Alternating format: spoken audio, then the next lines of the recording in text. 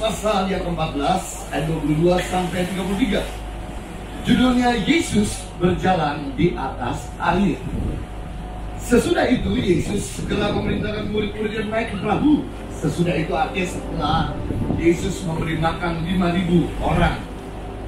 Memerintahkan murid-muridnya pergi naik ke perahu, mendahulinya ke seberang. Sementara itu ia menyuruh orang banyak pulang. Dan segera orang banyak itu disuruh pulang, Yesus naik ke atas bukit untuk berdoa seorang diri. Ketika hari sudah malam, ia sendiri di situ. Perahu murid-muridnya sudah beberapa mil jauhnya dari pantai dan diombak ambing gelombang karena angin sakal. Kira-kira jam 3 malam datanglah Yesus kepada mereka berjalan di atas air. Ketika murid-murid yang melihat dia berjalan di atas air, mereka terkejut dan berseru, itu hantu. Lalu berteriak-teriak karena ketakutan. Tetapi segera Yesus berkata kepada mereka, tenanglah, aku ini, jangan takut. Lalu Petrus berseru dan menjawab Yesus, Tuhan, apabila engkau itu suruh aku datang kepadamu berjalan di atas air. Kata Yesus kepadanya, datanglah. Maka Petrus turun dari atas perahu dan berjalan di atas air mendapatkan Yesus. Ketika dirasanya tiupan angin, takutlah ia dan mulai tenggelam. Lalu berteriak, Tuhan, tolonglah aku. Segera Yesus mengulurkan tangannya, memegang dia dan berkata, Hai orang yang percaya, kurang percaya, mengapa engkau bimbang? Lalu mereka naik ke perahu dan angin pun reda dan orang-orang yang ada di perahu menyembah dia katanya sesungguhnya engkau anak Allah. Bapak Ibu diceritakan di dalam firman Tuhan dalam Matius 14 di mana ketika Yesus telah memberi makan 5000 laki-laki kenyang sisa 12 bakul kemudian Yesus menyuruh murid-muridnya malam itu untuk mendahulunya ke seberang dengan perahu seperti yang kita naik pada saat ini. Dan Yesus meninggalkan murid-muridnya berdoa di bukit. Kira-kira jam 3 pagi datanglah angin sakal angin sakal ada angin beribut angin yang berkelora, angin barat berjumpa dengan angin timur. Malam-malam kalau kita naik perahu, kita nggak bisa tebak ombak itu datang dari mana. Sehingga kapal itu mau tenggelam dan mereka sangat ketakutan. Tapi di tengah-tengah ketakutan tiba-tiba bukan ada Iron Man, tapi ada Yesus berjalan di atas air dan murid-murid ketakutan itu hantu kata Yesus tidak ini aku Langsung Petrus menantang Yesus. Kalau memang itu engkau Yesus, suruhlah beta juga berjalan di atas air. Jangan pernah tantang Yesus. Ketika tantang Yesus, Yesus menantang balik. Sok silakan. Oh, oh pakai bahasa Sunda. Dan kemudian Petrus kemudian mulai melangkahkan kakinya dari atas perahu, melewati perahu dan berjalan di atas air. Dari cerita ini ada dua pemahaman di mana kita akan berjalan dalam mujizat. Katakan berjalan dalam mujizat. Yang pertama, untuk kita bisa berjalan di atas mujizat, berjalan dalam mujizat, berjalan di atas air, yang pertama yang kita perlu lakukan adalah yaitu di ayat 28. Lalu Petrus berseru dan menjawab, Tuhan apabila engkau itu suruh aku datang pada muda berjalan air. Ternyata, hal yang pertama, bagaimana Petrus bisa berjalan di air? Karena Petrus memiliki keberanian, katakan keberanian. Petrus memiliki mental juara. Bapak Ibu, sahabat saya, bagi seorang atlet untuk memenangkan sebuah pertandingan dibutuhkan dua elemen paling utama. Yang pertama, skill. Yang kedua, keberanian atau mental juara. Sekalipun atlet itu punya skill yang bagus, tapi kalau dia takut naik pesawat terbang, dia tidak akan pernah pulang bawa piala dunia.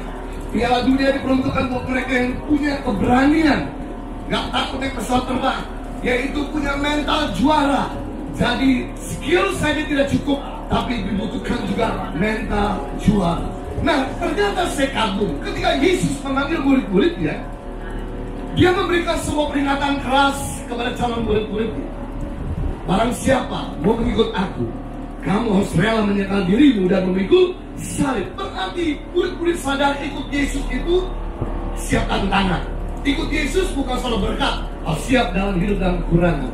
Ikut Yesus bukan selalu jalan ke atas, harus siap direndahkan. Ikut Yesus bukan selalu pintu terbuka, harus siap pintu ditutup.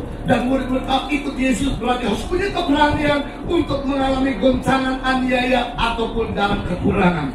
Dan yang luar biasa karena Yesus Memilih murid-murid berdasarkan mentalnya, bukan berdasarkan otot tebal, bukan berdasarkan perawakan elok, bukan berdasarkan dompet tebal, tapi berdasarkan mental jual atau keberanian dari 12 murid Yesus. Yang gagal cuma satu namanya siapa? Yudas. Tapi beda cara Musa memilih murid-murid. Cara Musa memilih murid-murid ternyata berdasarkan otot tebal, perawakan elok, darah ningrat, bukan berdasarkan keberanian atau mental juara. Ketika diutusnya murid-murid untuk meminta tanah perjanjian selama 40 hari 40 malam, dan ketika mereka kembali ke Bethlehem bangsa Israel, maka suara 12 murid Musa terpecah dua. Suara mayoritas 10 dari 12 murid Musa berkata, benar tanda didikan Tuhan itu berlimpah susu madu, buah bangsa Israel, namun orang yang gagah perkasa, ahli berkembur dan kuat. Kita ini bagaikan melarang di hadapan mereka. Bapak Ibu kalau kita mengaku diri kita kecil apa saja kita lihat dari kisah dan apa yang terjadi? Maka ketika mendengar kabar dari 12 kabar dari 10 murid-murid Musa mengangislah dua juta bangsa Israel berkata pulangkan saja aku pada Mesirku untuk waktu itu masih ada dua murid Musa yang punya mental juara yang pertama yang tua bernama Kaleb yang muda bernama Yosua berkata tidak Sekalipun kalian jadikan Tuhan itu berlimpah dengan susah madu dan orang yang gagah perkasa ahli berkebun. Tapi Tuhan berjanji sama kita bahwa kita akan perang dan kalahkan mereka. Dan yang luar biasa, dari 12 murid Musa, hanya cuma dua orang yang bisa menikmati dalam perjanjian, yaitu mereka yang punya mental juara. Dari dua juta bangsa Israel, cuma ada dua orang yang bisa masuk dalam perjanjian, yaitu mereka yang punya mental juara. Berarti untuk menikmati janji Tuhan bukan sekedar percaya Tuhan itu besar. Bukan sekedar percaya iman waktu tidak meninggal janji, tapi untuk menikmati janji Tuhan, kita perlu juga punya mental juara. Katakan mental juara. Katakan keberanian. 3, 2, 1. Yes. Tanah perjanjian merupakan tempat di mana semua orang percaya merindukan pergi ke sana. Karena di sana kita akan mempelajari sisi sejarah dan juga sisi kebenaran firman Tuhan. Sehingga firman Tuhan menjadi hidup dan nyata pada tanggal 24 Februari sampai 9 Maret 2020 selama 15 hari kami mengundang teman-teman bisa join Holy Land Jilid kedua di mana kita akan pergi ke tujuh Jumat di kitab Wahyu di Turki dan kemudian kita pergi langsung ke tanah perjanjian di Israel hanya dengan investasi 2.995 US dollar kita akan mendapatkan semuanya itu anda dapat menghubungi nomor di bawah ini dan bergabung bersama dengan kami dalam perjalanan yang tidak terlupakan life-changing journey to Holy Land with Johannes and Henny Christianus. God bless you. Yes. Yang kedua, cara untuk Petrus berjalan di atas air yang pertama memiliki keberanian. Yang kedua, kita lihat di sini di ayat yang ke-29. Kata Yesus, datanglah. Maka Petrus turun dari perahu dan berjalan di atas air. Rupanya, cara kedua untuk berjalan dalam mujizat. Yang pertama, syarat dia memiliki keberanian atau mental juara. Yang kedua, berani melakukan yang orang lain tidak mau melakukan. Mau melakukan yang orang lain tidak mau lakukan. Katakan, lakukan yang lain tidak mau lakukan. Tiga, dua, satu. Iya. Waktu itu Bapak Ibu dan sahabat saya, kira-kira di mana ketika Yesus berjalan di air, kemudian kan berkata, kalau memang itu kau Tuhan, buat aku juga berjalan air. Kemudian Yesus, Yesus berkata, sok berjalan. Dan kemudian Petrus mulai memperhatikan diri. Dan dia mulai keluar dari perahu dan berjalan di atas air. Dan sementara Petrus berjalan di atas air, maka sebelas murid yang lain berkata, wow, hebat kali teman kita itu. Wow, hebat kali teman kita itu. Wow, hebat kali teman kita itu. Saya beritahu, wow, tidak pernah bikin mujizat. Yang bikin mujizat bukan wow. Yang bikin mujizat ketika kita berani melakukan yang lain tidak melakukan. Padahal sebelas murid yang lain punya kemampuan yang sama untuk juga berjalan di air. Tapi mereka tidak bisa dapat berjalan di air. Kenapa? Karena mereka tidak berani melakukan yang mereka melakukan.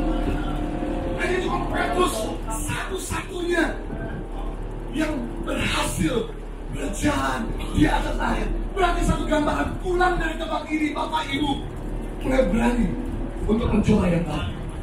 Mulai berani melahirkan yang baru. Mulai berani buat sesuatu yang baru. Mulai lari lahirkan visimu yang baru. Mulai berani bikin bisnis yang baru. mulai berani untuk masuk pelayanan, mulai berani jangan takut. Yang orang tidak melakukan, lakukan. Maka mereka akan lihat mujizat Tuhan terjadi dalam hidup kita. Mereka cuma berkata, wow hebat kali kau pulang dari Israel sudah bisa berjalan di atas mujizat. Saya percaya mujizat yang Petrus alami akan kita alami juga. Namun jangan khawatir seandainya gagal. Kita udah mencoba yang mana gagal. Ingat, di sebelah Petrus ada siapa? Ketika Petrus mulai bimbang karena angin kencang, dia tenggelam, dia berseru tolong. Yesus segera di sebelahnya menolong Petrus dan kembali berjalan di air kali kedua. Jadi Bapak Ibu ketika kita mencoba yang baru Sekalipun kita mungkin tidak kuasai Mungkin sekalipun kita tidak expert kalau kita gagal jangan khawatir karena di sebelah kita ada Yesus. Kita yang sendirian. Dia akan topang kita untuk kita bangkit kembali. Yang percaya katakan amin.